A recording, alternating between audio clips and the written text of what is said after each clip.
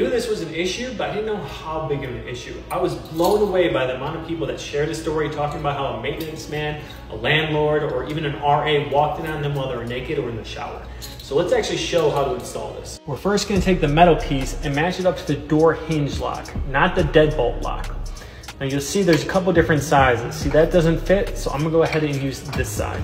Lastly, we're gonna take this metal piece and put it into the closest hole that we can to the, the door, giving it a snug tight fit. If you go to my Instagram, I'll put a link in the bio to where you can find it on Amazon.